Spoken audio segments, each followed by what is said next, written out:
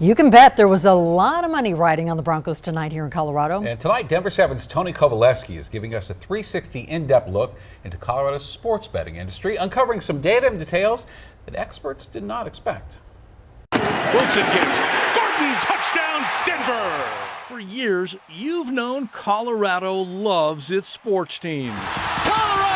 Colorado has won the Stanley Cup! But now we've learned the state may have something it loves even more. Eagles tonight, minus three for 2,000. Since voters legalized sports betting, the industry has exploded. Why America's number one sports book. And now we have the numbers. Got a couple winners, awesome. Our 360 parlay card of gambling experts includes one of the country's leading odds makers, Colorado's top gaming regulator, a nationally known expert on gambling addiction, an executive from a Black Hawk sports book, and one of Colorado's many sports bettors. Judy still going. Let's start with the Broncos, a cash cow for the state's betting sites.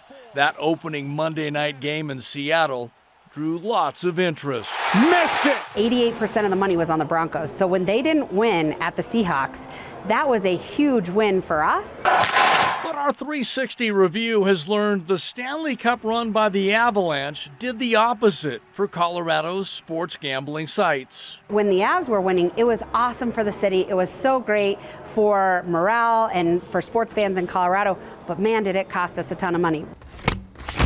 And in terms of dollars and cents, our dig into the state's data uncovered a big number wagered since sports gambling became legal back in May of 2020. We crunched the numbers. Looks like in 29 months, $8 billion. It's a lot. Dan Hartman serves as the director of Colorado's Division of Gaming, billion with a B. I didn't expect it in 29 months. Our 360 dig also found that compared to other states, Colorado bettors are winning more often, or more accurately, losing less money. Why do you think Colorado bettors are doing better than bettors in other states? We're still trying to figure that out. Jay Kornegay is one of the nation's top odds makers. He's well aware of this national data. It shows Colorado sports bettors are winning back 94% of the money they've wagered. That's the second most in the country since sports betting became legal in several states. Kornegay attributes Colorado's success to a pool of informed and experienced bettors. They're very conservative with their their plays. And so I think that the you know we we have our fair share of sharps there. Have you ever placed a bet on ping pong? Darren Elwell is one of Colorado's sports bettors. We asked him about what we found in this data of sports bets made in the state. It's not surprising that the top three sports by amount wagered in Colorado are pro basketball, the NFL, and Major League Baseball. But here's your 360 surprise nugget since sports betting became legal in Colorado, table tennis, ping pong ranks as the ninth most popular sport among bettors, with more than $200 million bet on ping pong. Would you be surprised to know millions and millions of dollars have been bet on ping pong in our state? I know Colorado likes to bet, but boy, that's a, that's an interesting thing to know. Someone's probably putting a bet right now on the speed of a ping pong player's serve.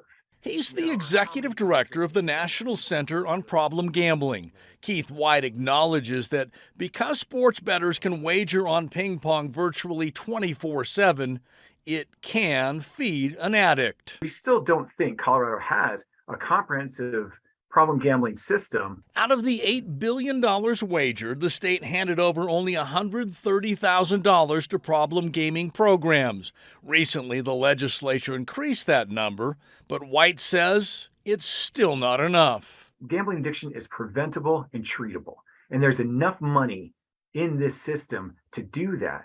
It's just not being used adequately. And that's the tragedy of it.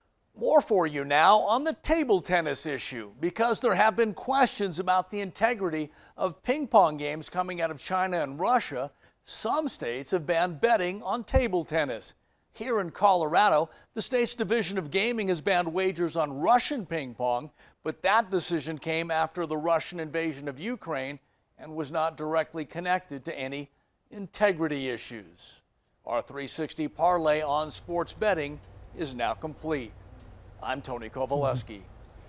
Thanks, Tony. And digging deeper into the data now, we found Colorado collected just under 22 million in taxes from sports betting revenue through July. And out of that, the majority, roughly 19 million, has gone to fund Colorado's water plan. The state is also increasing the $130,000 earmarked for gambling addiction programs in 2023 up to two and a half million, thanks to a grant.